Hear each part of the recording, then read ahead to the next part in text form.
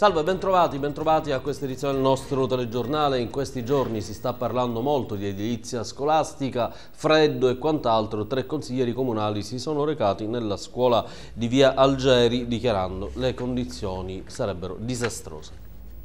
Dopo il freddo altri disagi nelle scuole siracusane, almeno secondo i consiglieri comunali Simona Princiotta, Salvo Sorbello e Cetti Vinci, che hanno effettuato un sopralluogo nella scuola di Via Algeri insieme ad alcuni genitori degli alunni. È incredibile come in una città eh, che si vuole qualificare per la qualità della vita ci sia ancora un istituto scolastico come quello di Via Algeri.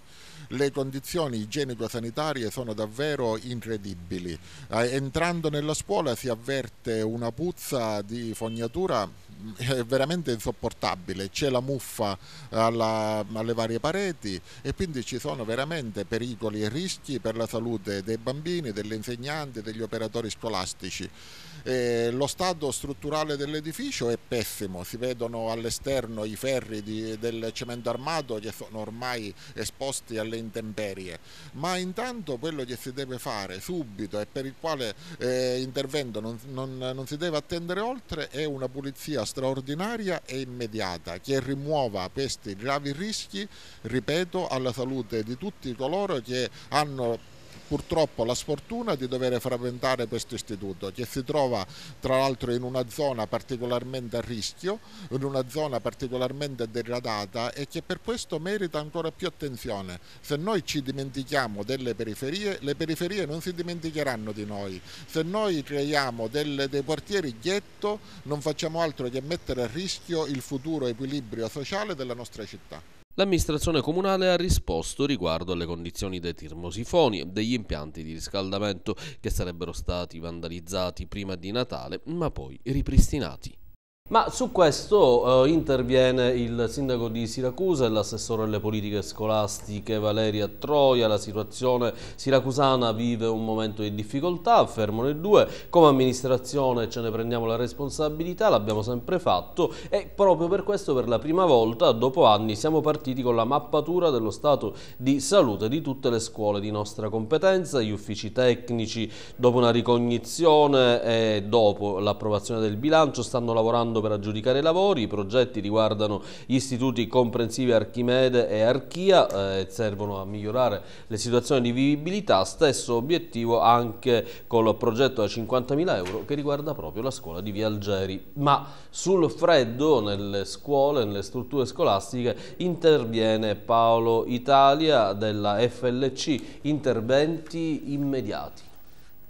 Il segretario della FLCCGL, Paolo Italia, ha chiesto un efficace e immediato intervento in tutte le scuole della nostra provincia colpite dal gelo di questi giorni. Il sindacato esprime solidarietà agli allievi e a tutto il personale scolastico dell'Istituto Comprensivo Nino Martoglio di Siracusa per i notevoli disagi che in questi giorni, a causa dell'ondata straordinaria di freddo, hanno dovuto subire. Massimo sostegno ai docenti che si sono adoperati a manifestare la necessità degli alunni e altrettanta vicinanza all'apprensione della solerte dirigente. Sarebbe stato opportuno, dice Italia, un preventivo preventivo e puntuale intervento dell'amministrazione comunale di Siracusa, organo preposto alla manutenzione e al funzionamento dell'impianto di riscaldamento negli istituti comprensivi. Si sarebbe così evitato l'imbarazzo tra i docenti e la dirigente, che secondo noi comunque perseguivano lo stesso intento, la tutela degli alunni. Il freddo nelle aule mina fortemente il diritto allo studio e la salute degli studenti. In questi casi inoltre è auspicabile una maggiore partecipazione e cooperazione da parte dell'azienda sanitaria provinciale di Siracusa, non solo alla Nino Martoglio di Siracusa, ma anche in altre scuole della provincia, per verificare come prescritto dalla legge che la temperatura minima all'interno delle scuole non dovrebbe essere sotto i 20 gradi. Siamo consapevoli che questi episodi non sono circoscritti ad una sola scuola. Altre scuole nella nostra provincia sono lasciate sole dai competenti enti locali ad affrontare l'emergenza freddo. Sono purtroppo sempre più frequenti, continua Italia, le testimonianze degli studenti delle scuole superiori di secondo grado, non solo del comune capoluogo ma anche della provincia e del disinteresse generale del libero consorzio dei comuni che dovrebbe occuparsi appunto di questo. È impensabile inaccettabile lasciare da soli i dirigenti scolastici davanti a simili scenari. È fondamentale quindi approvare per tempo i finanziamenti sia per gli approvvigionamenti dei carburanti che per le altre incombenze relative alla manutenzione degli impianti, oltre a un piano che riguardi l'edilizia scolastica, con maggiori investimenti da parte di tutte le amministrazioni, dato che diversi problemi strutturali venuti a galla fin dall'inizio dell'anno scolastico molte scuole costruite prima degli anni Ottanta presentano, e non certamente al rientro di queste vacanze natalizie.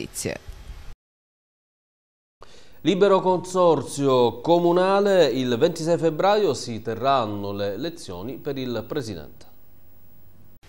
Il governo regionale ha fissato per il 26 febbraio la data delle elezioni come previsto dalla legge regionale. Eventuali proposizioni di modifiche legislative, dice il presidente della regione Crocetta, non possono interferire sulle decisioni dell'esecutivo che deve rispettare le leggi. Si rappresenta che la legge nazionale, pur prevedendo la possibilità di elezioni dirette di primo grado, esclude tale possibilità in fase di prima applicazione, per cui chi oggi propone la modifica della data di fatto nega questa possibilità. La legge del Rio parla chiaro, infatti fase di prima applicazione l'elezione di secondo grado. Si discute in prima commissione ARS della possibilità di tornare ad elezioni di primo livello anche per i liberi consorsi comunali. Una idea che personalmente condivide, per la quale ho chiesto l'impegno del gruppo dei centristi, anticipa il deputato regionale Pippo Sorbello. È l'unico modo per ripristinare un metodo democratico come quello della rappresentatività. È fuori di dubbio, prosegue Sorbello, che un rappresentante sul territorio avrebbe aiutato ad evitare lo sfascio a cui abbiamo assistito in questi due anni di riforma zoppa. Abbiamo visto province province in crisi, incapaci di erogare servizi, con le strade della viabilità provinciale dimenticate e riscaldamenti spenti nelle scuole. I costi sono rimasti invariati negli ultimi due anni. Sono soltanto aumentati i disagi e i disservizi in maniera esponenziale, dice dati alla mano Pippo Sorbello.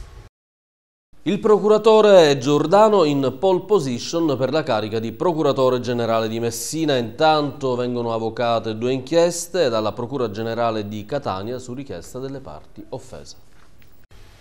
Per la carica di procuratore generale di Messina in pole position si trova l'attuale procuratore della Repubblica di Siracusa Francesco Paolo Giordano. Secondo fonti del Consiglio Superiore della Magistratura le correnti avrebbero trovato l'intesa. Per la scelta del successore di Guido Loforta alla Procura dello Stretto si presentano invece parecchi ostacoli collegati all'equilibrio tra i vari candidati e il gioco delle correnti. Intanto ancora novità sulle vicende giudiziarie che da qualche anno tengono sotto la cappa dell'immobilismo politico-amministrativo indotto la città di Siracusa. La Procura Generale Generale di Catania ha avvocato a sé due dei tanti fascicoli dei procedimenti penali che riguardano inchieste in cui sono implicati politici, amministratori e dirigenti del comune Retuseo. Tra i fascicoli trasferiti alla Procura di Catania c'è quello riguardante il procedimento penale a carico di tre dirigenti del Vermexio, per i quali la Procura di Siracusa ha richiesto il rinvio a giudizio e una delle ultime udienze era stata fissata per la fine di novembre davanti al giudice per le udienze preliminari prima dell'avocazione. Si tratta del procedimento giudiziario scaturito da progetti per servizi sociali che i tre incolpati avrebbero svolto durante le ore d'ufficio. La Procura di Siracusa ha chiesto giudizio per i tre dirigenti comunali, prospettando l'accusa di abuso d'ufficio. Ieri mattina, invece, al sostituto procuratore generale di Catania, Romina Cantone, è stato consegnato dal GUP del Tribunale di Siracusa Andrea Migneco, a seguito della richiesta in precedenza avanzata, un altro fascicolo giudiziario relativo alla denuncia per diffamazione che il direttore del periodico Il Diario 1984, Giuseppe Guastella, ha avanzato nei confronti di Simona Princiotta. Dalla Procura della Repubblica di Siracusa si fanno notare come i due fascicoli avvocati dalla Procura Generale per atto dovuto siano marginali rispetto al volume delle indagini avviate, in itinere o in fase di conclusione sulla pubblica amministrazione siracusana. Il ragguardevole numero dei fascicoli d'inchiesta, dal gettonopoli agli asili nido, dall'affidamento della gestione del servizio idrico alla vicenda stessa, per finire al processo fantassunzioni in corso in tribunale e tanti altri ancora, sono tuttora coordinati dalla Procura di Siracusa. Intervento da parte delle Fiamme Gialle, la Guardia di Finanza infatti per spreco di denaro pubblico sequestra 240.000 euro. La Guardia di Finanza di Siracusa, su delega della Procura, ha proceduto al sequestro di beni immobili, mobili e conti correnti per un totale di 240.000 euro, un valore corrispondente ai contributi incassati in maniera illecita dai soci di due aziende agricole della provincia.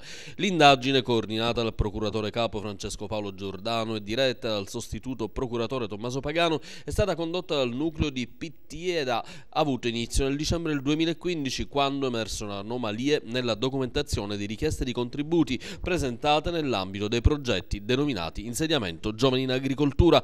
L'ispettorato provinciale agricoltura, considerato che i giovani agricoltori non avevano avviato le opere progettuali presentate, aveva revocato i pagamenti e tentato nel frattempo di riottenere le somme senza ottenerle. La polizia tributaria ha accertato così che sei soci delle due aziende agricole avevano percepito ognuno 40.000 euro accreditati sui loro conti correnti. Le somme erano state prelevate in contante senza neanche avviare i progetti per i quali i contributi erano stati erogati. La Procura della Repubblica di Siracusa, al termine delle indagini, ha chiesto ed ottenuto dal GIP del Tribunale Andrea Migneco il sequestro preventivo per l'equivalente dei beni immobili e mobili degli indagati fino al controvalore dei contributi percepiti in maniera illegale, che rappresentano quindi il profitto del reato. I sei agricoltori sono stati segnalati anche alla Corte dei Conti per il danno erariale causato.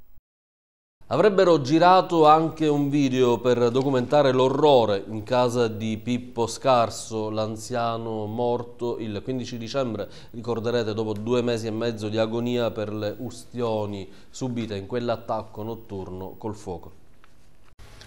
Durante il blitz punitivo contro l'anziano dato alle fiamme nella via dei Servi di Maria a Siracusa sarebbe stato girato un video non ancora trovato per riprendere la bravata di Andrea Tranchina, 18 anni, e Marco Gennaro, 19, entrambi in carcere con l'accusa di omicidio in concorso. Secondo la ricostruzione degli inquirenti erano entrati nell'abitazione di Giuseppe Scarso, 80 anni, per dargli fuoco. Agli spavaldi non era bastato più tirare sassi contro le finestre di casa dell'anziano. Investigatori e inquirenti insistono sulla tesi. Quella sera Andrea e Marco decidono di essere ancora più aggressivi e con una bottiglietta di alcol entrano nell'abitazione dell'anziano. Gennaro con il suo cellulare riprende la scena, scatta una foto a Don Pippo mentre dorme, poi inizia a girare un video che non si trova più. Tranchina getta dell'alcol sui capelli dell'anziano e accende dà fuoco con l'accendino. Pippo Scarso comincia ad agitarsi e a urlare. Da quanto ricostruito fino ad ora, sembra che Don Pippo, dopo essere stato raggiunto dal fuoco, esce di casa in preda al panico, con ustioni sul corpo e con la respirazione affaticata. Cerca il suo amico vicino di casa per essere aiutato e comincia a urlare. Giuseppe Scarso morirà il 15 dicembre scorso. Il Tribunale del riesame di Catania si è riservato sulla richiesta di scarcerazione avanzata dai legali dei due indagati. L'avvocato Ganci, che difende Gennaro, ha sollevato un'eccezione poggiata su una sentenza della Cassazione che aveva riformato un pronunciamento del riesame di Catania, ma è stata rigettata dai giudici. Gennaro si è protestato innocente. Dice di aver partecipato all'azione punitiva, ma di non aver fatto nulla contro la vittima predestinata. Ammette che fu un errore. L'avvocato Aldo Ganci ha annunciato che andrà in Cassazione in difesa del suo assistito. Secondo la sua linea difensiva, l'interrogatorio di garanzia non è arrivato nei tempi e nei modi previsti dalle norme di legge che regolano la materia. Il Tribunale della Libertà si è riservato sulle richieste della difesa. Controlli a tappeto della polizia a Lentini, due marocchini fermati, denunciati 30 e 60 anni, fratello e padre della vittima per lesioni personali, maltrattamenti e abuso di mezzi di correzione nei confronti di una sedicenne. L'associazione Carabinieri in congedo di Siracusa compie 90 anni, i suoi componenti impegnati in campo culturale ma anche sociale.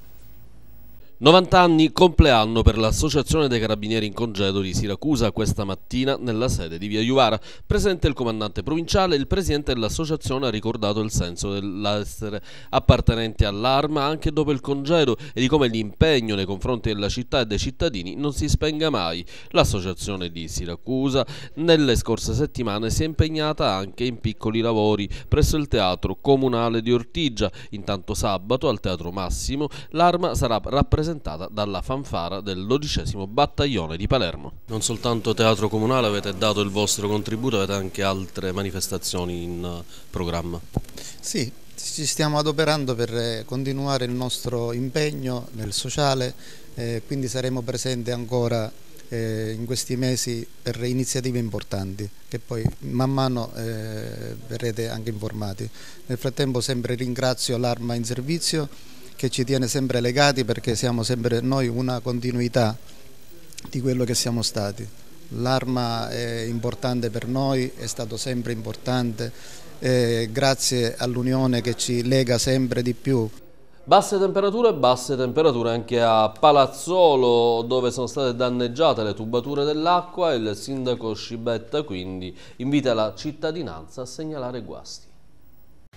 L'ondata eccezionale di freddo abbattutasi in provincia di Siracusa ha messo in ginocchio anche la zona montana ed in particolare Palazzolo, dove le nevicate di inizio anno ed il gelo hanno fatto scendere le temperature che continuano a permanere basse, circostanza che ha portato ad episodi davvero singolari, numerosi i danni registrati alle tubature e ai contatori dell'acqua che hanno reso necessario l'avvio di interventi alla rete idrica. Dalla mezzanotte di ieri e fino alle 6 di questa mattina è stata sospesa l'erogazione dell'acqua per permettere la manutenzione straordinaria degli impianti e delle condotte. In diverse case si sono rotti anche i galleggianti di serbatoio nei punti di allaccio alla rete idrica, che hanno provocato nell'insieme una serie di piccole perdite, la maggior parte delle quali sono state individuate in alcuni immobili del centro storico. Il sindaco Carlo Scibetta lancia un appello alla cittadinanza affinché segnali eventuali guasti e tubature danneggiate dalle gelate nelle varie abitazioni, ma anche negli immobili disabitati, in modo da poter individuare i proprietari e risolvere i problemi.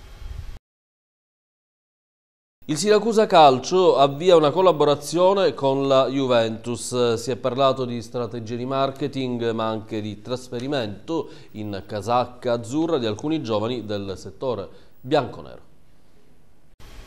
Siracusa Calcio e Juventus hanno avviato un rapporto di collaborazione. Il presidente azzurro Cutruffo è stato ospite per due giorni a Vinovo, dove ha visitato il centro sportivo della società bianconera e poi nella storica sede di Corso Ferraris, dove è stato a colloquio con l'amministratore delegato Beppe Marotta. Dal punto di vista dell'impostazione societaria, tecnica e commerciale, il dirigente del Siracusa ha ricevuto dal direttore generale Marotta un'apertura molto importante. Marotta si è detto disponibile a un nuovo incontro e di apprendere tutti gli aspetti tecnici e manageriali. Nel corso dell'incontro è stato illustrato anche il progetto del Siracusa Calcio per la realizzazione del centro sportivo. In termini tecnici, le due società stanno valutando la possibilità di raggiungere l'accordo di trasferimento in prestito di alcuni elementi del settore giovanile della Juventus. Nel corso della due giorni, accompagnato dall'avvocato Paolo Giuliano, che vanta un ottimo rapporto con Beppe Marotta, Cutruffo ha incontrato il direttore generale del settore giovanile Stefano Braghin. Il direttore sportivo della formazione primavera Federico Cherubini e il dirigente responsabile della gestione dei giovani di proprietà Juve Claudio Chiellini. Bene, con questo è tutto, era l'ultimo servizio, il nostro TG si conclude e noi vi auguriamo un buon proseguimento di programma.